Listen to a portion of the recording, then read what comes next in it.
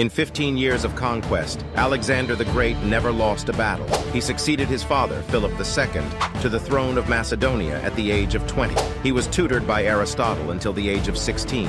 He washed his hair in saffron to keep it shiny and orange. Alexander began his reign by eliminating potential rivals to the throne, including his cousin Amyntas IV, Julius Caesar, Mark Antony, and Octavian, all made pilgrimages to Alexander the Great's tomb in Alexandria. Alexander founded 70 cities, naming at least 20 after himself and one after his horse. He was simultaneously the king of Macedonia, pharaoh of Egypt, king of Persia, and king of Asia.